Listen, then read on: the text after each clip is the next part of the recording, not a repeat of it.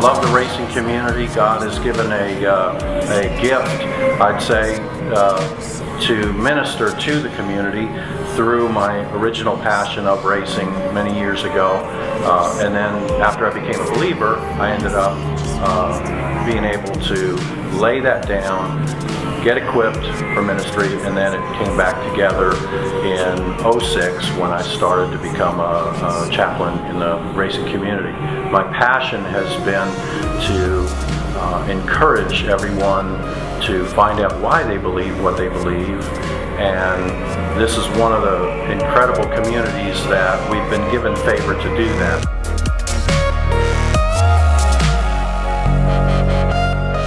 Since uh, Ray came on board, it, it pretty much uh, took a, a, more special meaning for all of us. Me more more than many, I think, because uh, it kind of turned turned my focus around, going back to to the Lord and things like that. And I see day to day what what Ray does for our riders and staff and as far as motor racing outreach goes, if they're all like Ray is, you know, they're a pretty special group.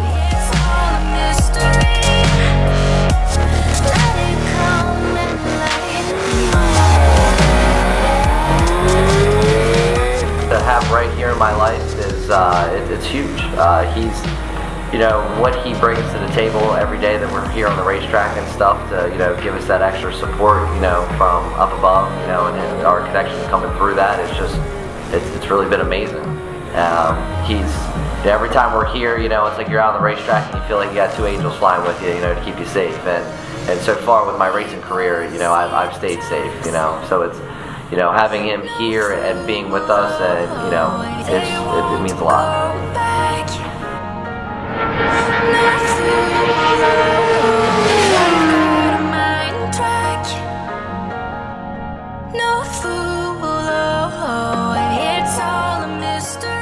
Ray has been there to, you know, to be my supporter, always. Um, he uh, he always has a positive attitude. He always gives prayer. Um, he always he always looks out for us, and um, I, I really don't know where the sport would be without somebody like Ray.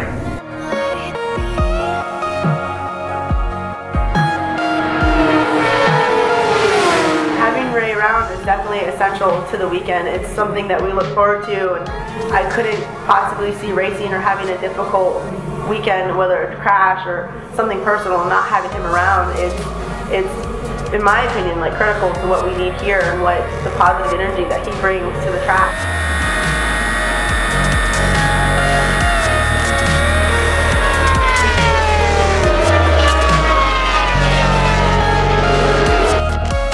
My uh, ministry is provided by the free will gifts of those that, that have the opportunity to give. One of the things that we're trying to do, we've created a pit crew.